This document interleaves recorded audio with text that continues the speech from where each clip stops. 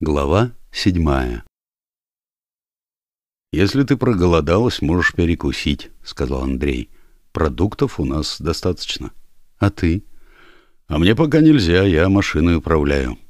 Они ехали по кольцевой автодороге. «Так, может, остановимся?» — предложила Катя. «Нет, время терять не стоит. Она открыла один из мешков и увидела там, кроме всего прочего, те самые упаковки Даниссима со вкусом пломбира. Первое желание попробовать экзотическую еду сразу сменилось опасением. Вдруг эта штука для Андрея на вес золота, а больше купить ее будет негде. Может, он в отношениях некоторых продуктов ведет себя как наркоман? Катя отложила этот мешок и заглянула в свой рюкзак. Достала оттуда батон и вишневый сок, отломила кусок булки и стала есть, запивая соком. — Что ты нашел про Ивана Даниловича? — спросила Катя. — Ничего хорошего. Это я поняла. Если в двух словах, преступный авторитет, имеет прозвище Иван Первый, контролирует азартные игры и спорт. Откуда у него такое прозвище появилось? Какой-то умник, хорошо знающий историю, сообразил, что так звали одного древнерусского князя, Иван I, он же Иван Данилович. Вот и приделали ему кличку. — А этот твой знакомый, к которому мы едем, он кто? — О, это великий сыщик. Зовут его Михаил Николаевич Силачев. Вернее, он бывший сыщик. — Катя уже начала на нервной почве страдать излишней подозрительностью, поэтому спросила. «А как этот великий сыщик оказался в твоем окружении? У тебя что, были проблемы с законом?» «Да не, что ты, совсем наоборот. Мой дядя служил в милиции, ну и потом в полиции, а Силачев одно время был его начальником, пока в отставку не вышел. После этого он уехал в Новгородскую область, там сейчас и живет». Может, проще было обратиться к твоему дяде? Нет, не проще. Во-первых, мой дядя живет в Питере, а Силачев хрен знает где, и там нас будет гораздо труднее найти. Во-вторых, черт, не хочу никого обижать, но Силачев намного круче. У него способностей больше. Насчет связи не знаю, но способностей явно больше. Катя доела кусок булки, убрала сок и застегнула рюкзак. Некоторое время она обдумывала свое положение. «Слушай, Андрей, а может лучше все-таки нормально обратиться в полицию?» «Не, не надо». «А тогда, может, свяжемся с моей командой и объясним ситуацию?» «Не стоит. Просто ты понимаешь, я с тобой почти не знакома, а тут дело так повернулось, хочешь не хочешь, а уже беспокоишься, что это подстава». «Какая подстава? С моей стороны, что ли?» «Ну, да». И вообще, разве у человека может быть фамилия Силачев? Андрей рассмеялся так, что едва не потерял управление машиной. «Во, блин, ну ты даешь! Чем тебе его фамилия не понравилась? Самая лучшая фамилия, какая только бывает». «Ладно, извини, нервы». Автомобиль свернул с кольцевой автодороги на московское шоссе. «Ты думаешь, этот Силачев пустит нас к себе пожить?» — спросила Катя. «Не знаю, ему видней». Он в отдельном доме живет, а у его жены еще имеется вторая квартира. Так что места на всех хватит. У них семья небольшая, сам Силачев, жена и сын шестилетний. Вообще у него три сына, только первые двое уже взрослые, живут отдельно. За окном стояла ночь.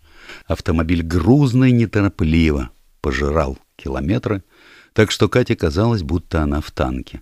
Такой уж был стиль вождения ее нового приятеля.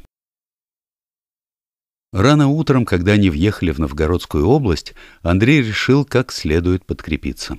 Увидев подходящую проселочную дорогу, он свернул вправо, проехал немного по ней и остановил машину в лесу. Первым делом Андрей вытащил упаковку Даниссима со вкусом пломбира. Кроме того, у него в машине обнаружилась чайная ложечка специально для таких целей. «А можно мне попробовать, что это за чудо угощения?» — спросила Катя. Андрей не на шутку задумался. Судя по его физиономии, он сейчас решал вопрос более важный, чем быть или не быть. Но, наконец, утвердительно кивнул головой. «Можно. Во-первых, как твой болельщик, я должен быть готов на любые жертвы ради тебя. И, во-вторых, это угощение надо всячески рекламировать. А иначе кто же о нем узнает? Ешь на здоровье. Только ложечка у меня всего одна. Как заедем в магазин, куплю еще одну. — Ой, — спохватилась Катя, — магазин. Мне же надо купить много вещей. Если мы надолго уехали из Питера, то мне нужна другая одежда, зубная щетка, паста, мыло. Все сразу и не вспомнить. — Да, действительно. У тебя деньги с собой есть? — Ну да, в рюкзаке. Правда, немного, но у меня и карта есть. Я тоже и бабки, и карту взял. Ладно, если тебе будет не хватать, я добавлю. Ну, давай, пробуй. Катя взяла ложечку и съела одну упаковку Данисима. 130 граммов. Ей чрезвычайно понравилось, но она не стала жадничать и передала ложечку Андрею. Он съел еще три упаковки. Потом попросил у Кати вишневый сок и, в свою очередь, поделился с ней пирожками. Катя съела парочку, один из них оказался с луком, рисом и яйцом, а второй — с мясом. Вдвоем они выпили весь пакет сока, и Андрей положил его в мешок, чтобы не мусорить. «Это был завтрак, а обедать будем у Силачева», — сказал он. «Поехали».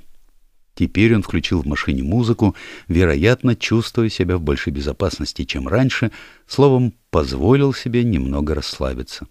Сначала они слушали музыку молча, потом Андрей объяснил. «Этот сборник я сам составил. Есть три рок-группы, которые мне очень нравятся. «Дезориентир», «Грязные святые» и «Еда». По крайней мере, так их названия воспринимались на слух, а в письменном виде могли выглядеть несколько по-другому. Вот я и собрал лучшие песни из их репертуара. Но там, в принципе, один и тот же парень был главным человеком во всех трех группах, а сами группы превращались одна в другую. Одна закрылась, другая открылась, да и по голосу слышно, что один и тот же человек поет. «Грязные святые? Эта группа так называется?» — удивилась Катя.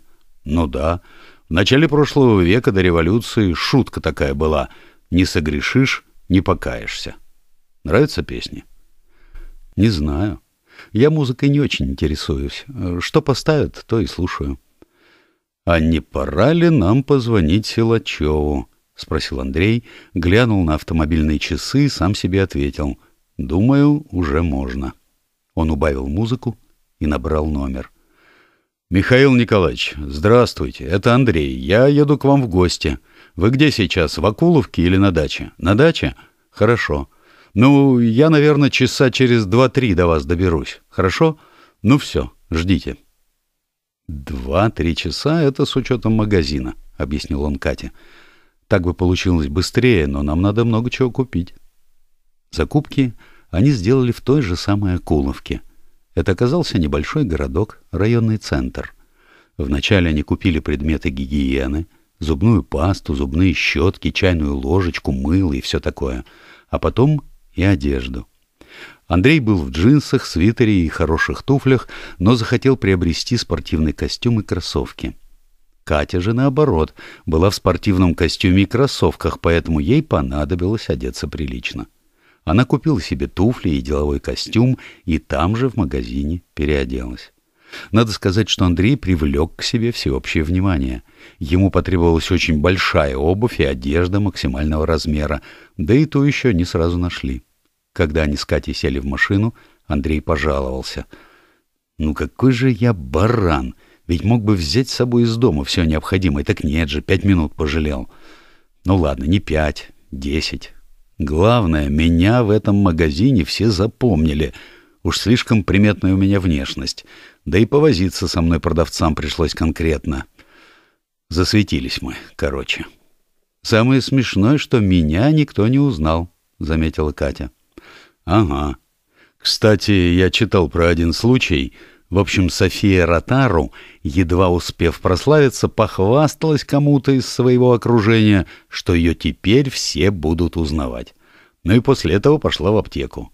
Туда зашел парень и упал перед ней на колени. Она решила, ну вот, начинается всенародный фанатизм. И тут продавщица закричала «Девушка, не давайте ему денег, он наркоман». Они покинули Акуловку и в прежнем неторопливом темпе двинулись дальше. Впрочем, ехать пришлось не слишком долго. Довольно скоро Андрей свернул с шоссе на проселочную дорогу, прокомментировав. «Во, нам сюда». «А как это место называется?» «А хрен его знает, не помню». Деревня была расположена в паре километров от шоссе и на первый взгляд казалась совсем убогой и заброшенной. Но только до того момента, пока они не увидели дом Силачева, который стоял последним дальше всех от шоссе. Это была большая, красивая и, видимо, достаточно новая двухэтажная постройка из красного и белого кирпича, обнесенная высоким забором тоже из красного и белого кирпича. Андрей подъехал к воротам и посигналил. Примерно через полминуты ворота стали открываться. Андрей завернул влево и торжественно въехал во двор. Из дома вышел крепкий, плотный мужичок лет шестидесяти, с короткой атлетической шеей, громадными ручищами, способными образовать кулаки размером чуть ли не с тыкву, и широкой загорелой физиономией смугло-красного цвета. Одет он был по-простому, в тренировочные штаны, рубашку и домашние тапочки. Катя поняла, что это и есть знаменитый сыщик Силачев. В то же время металлические ворота стали закрываться — Остановив машину, Андрей вылез на улицу, Катя последовала его примеру. Андрей подошел к сыщику, а тот оказался ему до плеча. «Он ростом примерно как я, не больше», — подумала Катя. И вдруг Силачев ее огорошил. Он заговорил первым, да не просто заговорил, а, уставившись на Катю, произнес. «Я так и думал». Катя в недоумении тоже уставилась на него, но тут Андрей поздоровался с сыщиком, а Силачев, в свою очередь, поздоровался с ними обоими. С Андреем он обменялся рукопожатием, причем Катя заметила, что Андрей поморщился. Видимо, рука у сыщика была исключительно крепкая. «Ну, — сказал он, — пойдемте в дом».